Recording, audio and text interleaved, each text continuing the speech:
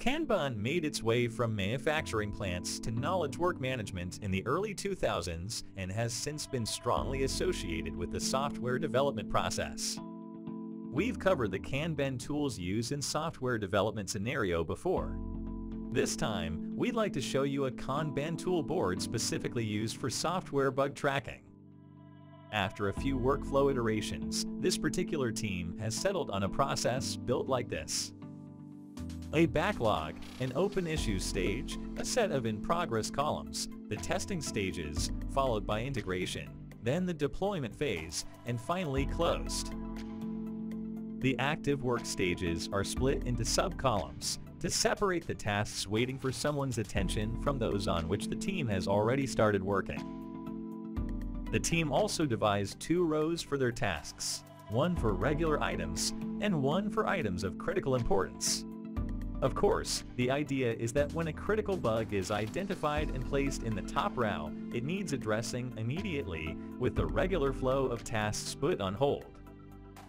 The information given on the task cards is an ID or a different form of title, a description with steps to replicate the problem, sometimes a checklist with extra instructions, image, video or other attachments, a link to the code repository pull request, information on where the bug report came from, and tags. Most of the time, when a team member picks up a task from the backlog, they assign it to themselves. But tasks may also be added already with assignments to the person deemed best to deal with a specific problem.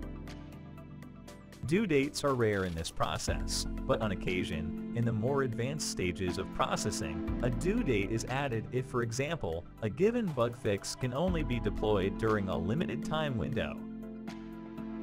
All bug report cards get the same color initially. However, when the working time on a single bug exceeds 10 hours, the card automatically changes color to blue. The supervisor can then investigate why a specific task takes this long and see if something could be done to speed up the process. And even though very often nothing can be done, such automation provides a simple way to keep tabs on the team's efficiency and to offer the developers help where needed. On top of this, all work on the board is timed with Kanban Tool time tracking. The timer automatically starts when a task is moved to a working column and stops when the task shifts to done or paused. This way, a record of hours spent on each item literally prepares itself on the team's behalf. While the team moves tasks along the board, other performance metrics also gather. The lead and cycle time tells them how long, on average, task cards take to move between given stages and the cumulative flow graph lets them judge at a glance if they are keeping a steady work pace from one week to the next, or if progress is stalling. Now, the card tags enable correlating tasks that deal with similar issues or portions of the code. It's convenient for building a complete set of information on where the product the team is working on is the weakest and finding potential spots for pivotal improvements. In terms of staying open to bug reports from both inside the company and clients, the team has used the Bug Reports Board's unique email address to allow external collaborators to report on identified problems.